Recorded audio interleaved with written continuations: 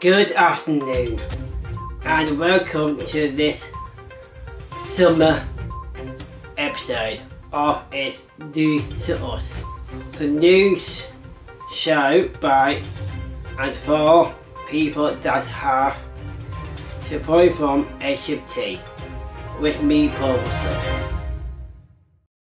Learning Disability Week was in June and we took the chance to showcase people's creative talents like the Green Fingered Jane and Adrian in Bristol who spent lockdown building their allotment.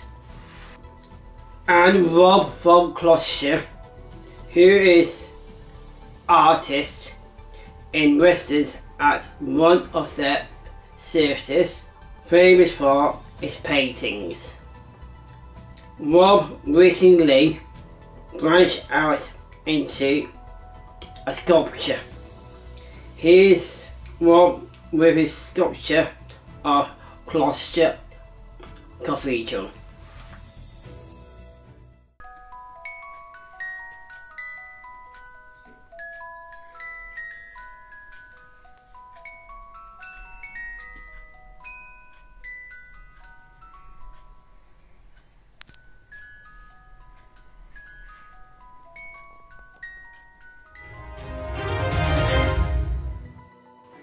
And George from Derbyshire who is doing a, a work experience placement in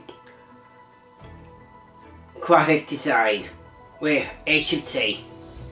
George has done a brilliant job designing the graphics for our Wellbeing Award scheme Give Me 5. Thank you to Molly in South Kent for sharing her collection of poems to help to raise £300 for HFT. Let's hear one of, of them. Love is sweet. Love is lovely. Love is sweet, but special love is unique. Love is rarity, found in many people. Some shine through, some people hide their feeling. Love is unique. Love is never ending. As well as gardeners, poets, sculptors and painters. There are lots of talented musicians here at HFT. We are lucky to be joined by Famara, a rapper from Leeds, to tell us about his new album. Hi, my name is Famara. I'm 27. I do music. Um, I've been working on my new album for a long time. I don't do this for better. I don't do this for being champion. I just do this for love. I don't do this for hate, more hate. I take the haters away from my music. I take the pain away from my pants. Is there anything that's inspired your new album, or what is it about? Uh, it's about um, my, my my life and where I'm, go- you know, where I've been experiencing on myself. Some music help me to speak, or or help me to talk talk about my emotional. I wanna make this world better, the world better. I don't need no paper, I don't need no pen. I'ma rap in my mind because I can't write. So go ahead and laugh. I'ma show you what I'm all about. And my music, um, it's, it's like it helped me to inspire myself or help me to share my story with people. And I enjoy when people listening to my music and it's inspiring me to do more. Yeah. Uh-huh. Yeah. Look. Yeah. I'm living my life, living my work life. Next up, we have a special feature on nature and the environment. We joined by Sally from Gloucestershire. Good afternoon, Sally. I'm Sally. My birthday's Thursday. I'll be 65. My job is the pack. I hate rubbish on the roads. Children can pick it up and eat it, they can get very poorly. I want the countryside to be pretty and you like me. I like my garden. Especially my panties. I love. I like growing plants for butterflies. Come on. I love butterflies. Makes me calm and relax. So Sally, what's your message to the to the public about littering? I want to say, stop throwing litter outside. That's amazing, Sally. Keep up the, the great work. We are also joined by Aidan in Cornwall to tell us about um, an outdoor space. He has been busy transforming. Hello, my name's Aidan Vincent. I'm here at the Leisure Centre at, in Weybridge, HFT. Um, this is a garden we've been doing during lockdown. Um, this is a bucket towel made out of sticks, bricks, pine cones and chicken wire. And where did all those uh, resources come from, Aidan? Donated by local, local people.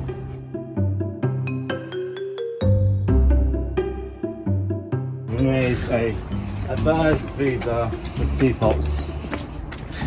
So these have bird feed in them. Well, yeah. Brilliant. Are you happy with how it's turned out? Yes, I am happy. Awesome. Thanks for your time, Aidan. Thank you. Fantastic work, Aidan. In July, lots of people were sh- sharing on England in the European Championship. But it was the online and written to us three players that motivated people supported by HFT Fletcher to reflect on this question and what make a good team. Let's take a look. Here at Duffin, our team works well together as we are all equal but different in our own way. This doesn't stop us being ourselves, which makes our team very strong. I have After seeing comments from last night's football on the discrimination England got last night, um, especially the young and ethnic minority makes us feel uh, upset and hurt that others could be so nasty. Our team knows that whether your skin colour, age, having a disability or gender doesn't make it any different. It's who you are and just as equal as the person standing next to you. What makes our team amazing is that we accept each other and all bring different equalities to our team. Hooray! Well done. That's really important message to everyone. Jonathan and Das in Leeds have also have been having fun and keeping fit on their on their bikes. We are joined by them to tell us more. Hello, Paul. My name is Jonathan. Hi Paul, my name's Das. We're going to tell you about riding our bikes in the park.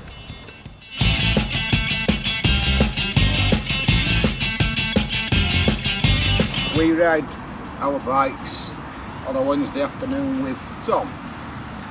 So has it been quite good to be go to be able to go cycling when Yeah, we've been in the lockdown? kinda Yeah. Good to get out and get his cycling done and get ourselves fit, isn't it, mate? I tried because like, like it's got pedals at the front of it, and I use these handles and these triggers. Well, it looks pretty cool. Do you want to show us how it works? Mine's a all-terrain mountain bike. Mine's used to going down hills, Mm. not just flat parks. It's used for all sorts of places, really. That's it from us, Paul. Back to you in the studio. Keep it up. You're doing great. The pandemic has been really tough, so people supported by HFT helped us design a well-being award scheme called Give Me Five. The award encourages people to do activities to look after their mental health and well-being. We are joined by Sam from the Give Me Five team with a special message for everyone who completed the award. Hi Paul, this is Sam. Well done for everybody finishing in the awards. Look out for your celebration pack in the post. Yeah. Well done to everyone who took part. Next up, it's time for meet the team. Let's go over to Matt Rogers to tell us about his job at HFT. Hi Paul, my name's Matt and I'm part of the communications and marketing team at HFT.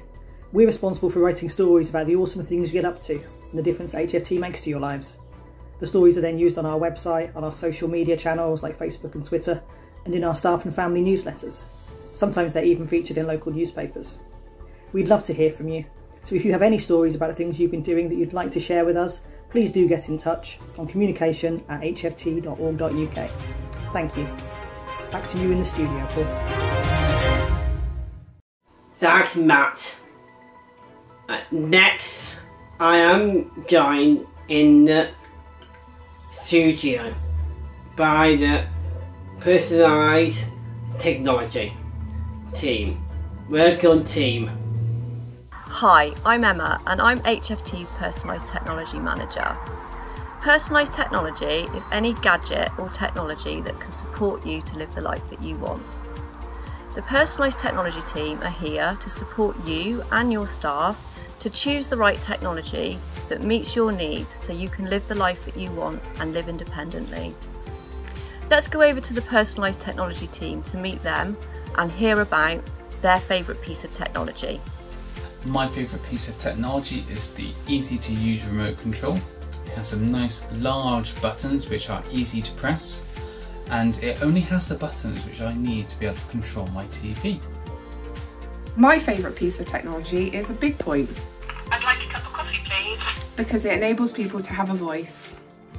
My favourite piece of technology is the talking clock. 9:12 a.m. It can help people to tell the time. My favourite piece of technology is my Alexa.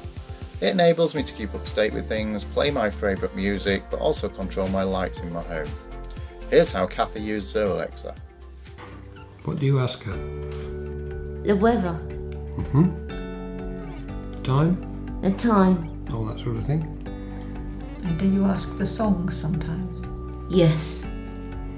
How do you use it? What do you have to say? Alexa, do you know what the time is, please? It's 5:28 p.m. Please get in touch with the team at Personalised Technology at hft.org.uk or visit our virtual smart house at hftsmarthouse.org.uk. Thanks, guys. In May, the team did a caption for people in to invent the dream technology. Well done to everyone who entered. There were some really brilliant ideas. The amazing ideas have been passed on to designers to see if we can make some of them real. We are joined by Em in to hear about her winning idea. Hi Paul, this is Em. And I, I won the um, personalised technology competition. I, I was really happy to win. I, I called my robot Henrietta to help her. The impressive thing was I, I paused my um, and Coke and I like that.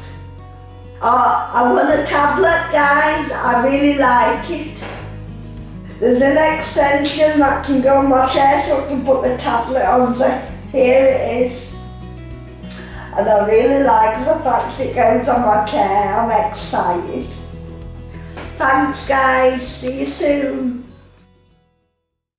That sounds like a fantastic idea, Em. Well done, and a, big thank you to Danny for helping judge the competition. Next, we catch up with Amy, involvement coordinator at HFT to hear about the news and updates on Involvement. Thanks, Paul. Here's the headlines in- on involvement at HFT. In July, for National Co-Production Week, we celebrated the difference it makes when people get involved with HFT. I'm joined by Chelsea to tell us how she's involved. Talking about mental health and how it's been affecting people. How does it make you feel when people ask you for your ideas and your views? It makes me feel really happy because I can really communicate them. I can really express them. So it makes me feel really happy that people do come to me and don't shy away from me. Thanks, Chelsea. Six people supported by HFT have been working with psychologists to co develop training on supporting people with a learning disability with anxiety, anger, and low mood, along with a workbook to help people with a learning disability. Well done to the team.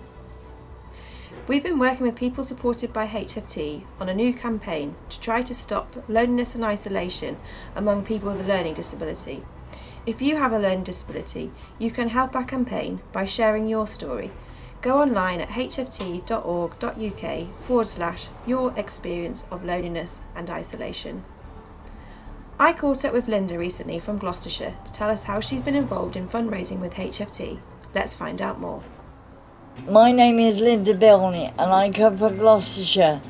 I did a sponsored walk to uh, raise some money for HFT Gloucestershire because the people that look after me do their jobs really well and I've got lots of nice friends here.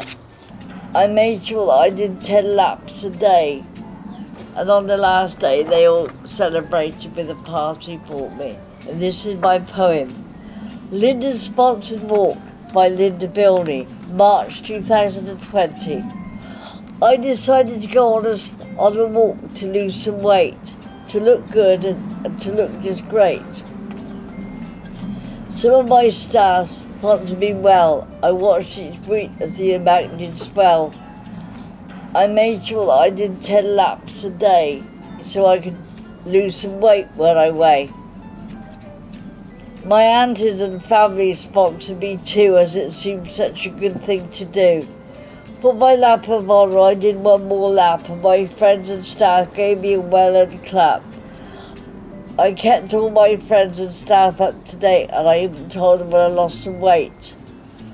Today with my friends and staff I celebrate. I raised £1,000 and I feel just great.